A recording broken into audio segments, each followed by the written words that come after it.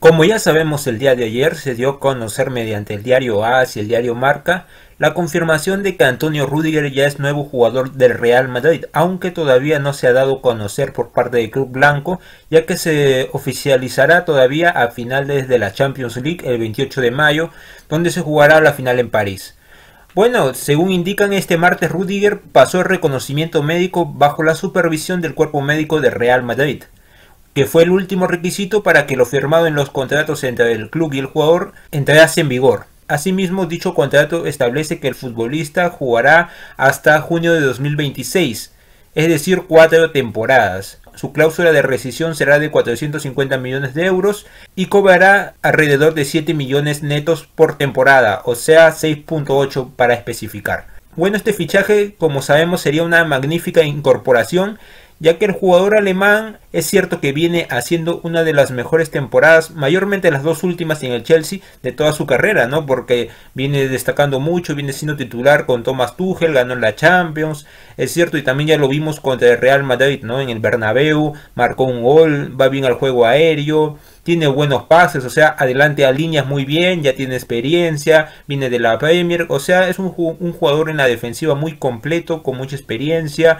y que va a aportar mucho al equipo, ¿no? Porque sabemos que actualmente David Álava y Eder Militao son los encargados de completar esa saga defensiva pero ahora con un Rudiger que llegaría, entonces David Álava podría jugar también de lateral izquierdo. Sabemos que él juega en esa posición, que es su posición natural. Y también puede jugar de, interior, ¿no? De interior más ofensivo. Entonces ya vamos a poder hacer más rotaciones con ciertos jugadores. Y Rudiger podría cubrir esa posición de, de central junto a Eder Militao, ¿no? Y eso viene siendo muy bueno por lo, por lo mencionado de Álava y también bueno porque es un ahorita en la actualidad es un central top por así decirlo uno de los mejores para mí.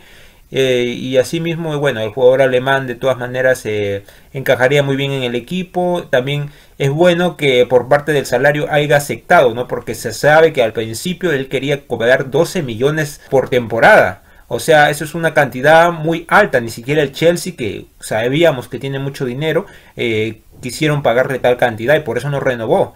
Entonces ya imagínense, ¿no? Entonces el Real Madrid tampoco lo iba a hacer y bueno, lo bueno que ha aceptado eh, que se reduzca su salario, se nota que quería venir al club blanco, porque si no se hubiera fallecido a un club que ha estado, ¿no? Al PSG, al Manchester City y bueno, hubiera quizás el PSG hubiera aceptado, ¿no? Entonces él ha querido por su propia voluntad venir al Real Madrid y eso es bueno, se nota su buena actitud, esperemos que las lesiones no lo acompañen, por favor y que pueda triunfar en el Real Madrid, ¿no? Esperemos que también esta Champions la podamos ganar para que el jugador llegue con más inspiración y así pueda incorporarse con un mejor rendimiento para la siguiente temporada.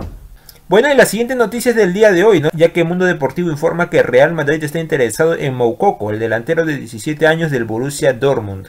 Así lo aseguró también el diario alemán Bild. O sea, vienen de dos grandes fuentes. Y este delantero que recuerdo que debutó en el Borussia con tan solo 16 años es un gran delantero, o sea, a lo que se refiere edad, ¿no? Porque es sorprendente que pueda que pueda debutar, o sea, tiene mucha confianza en sí mismo, los técnicos también lo tienen en el equipo y también ha sobresalido muy bien en, en las categorías menores del Borussia.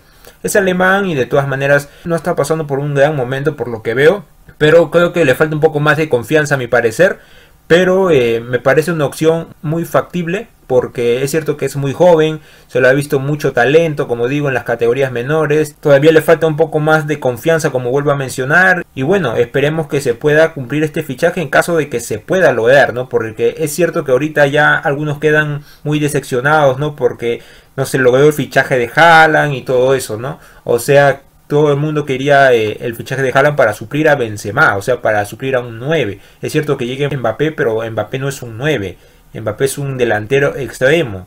Para mí, en mi opinión, el Real Madrid tiene en su cantera a un delantero que pueda suplir a Benzema, sobre todo por el tiempo limitado que va a jugar, ¿no? Porque sabemos que el delantero francés eh, es muy complicado que esté en la banca, porque, o sea, el nivel que muestra ahorita en la actualidad es es obvio que no lo vas a, no lo vas a poner de suplente y le vas a dar la mayor cantidad de minutos posible, como lo ha hecho Ancelotti, como lo ha hecho todos los entrenadores, ¿no? Y sobre todo desde que se fue Cristiano, eh, Karim ha sido el referente del equipo.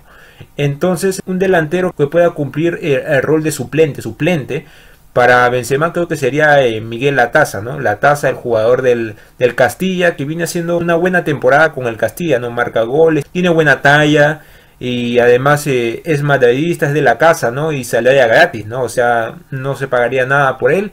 Y bueno, para mí esa sería una opción mejor que la de Moukoko quizás, porque Moukoko es cierto que ha debutado ya en el Borussia, en la primera división, juega ahí, ha marcado ciertos goles, o sea, para mí sí es un gran talento, o sea, puede ser de puede convertirse en uno de los mejores delanteros seguro, porque con lo que se espera de él es mucho, o sea, por, algo lo hicieron debutar a tan corta edad y eso es bueno en cierta parte, ¿no?